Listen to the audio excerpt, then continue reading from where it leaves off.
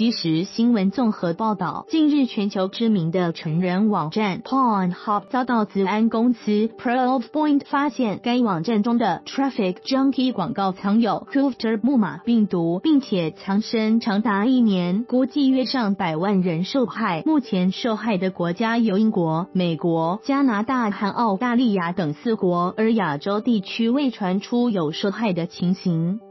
综合媒体报道，日前 Proofpoint 发现 c u f t e r 病毒放在全球知名的成人网站 Pornhub 的广告里长达一年。Proofpoint 公司表示 c u f t e r 是由一个 c o f p o g 组织散播 c u f t e r 伪装成软体更新，使用者点击更新按钮 c u f t e r 就会被载到电脑中，铺露使用者的个人资料和浏览记录，并透过使用者点击加广告赚取收益。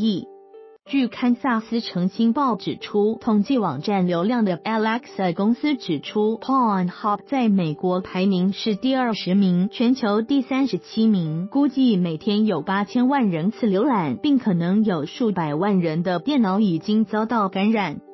针对 c u f t e r 病毒一事，Pornhub 官方目前为止并未正面回应，但 Proofpoint 公司表示，Pornhub 已接获通知，并立即删除 c u f t e r 病毒。他们也表示，受害国家包括英国、美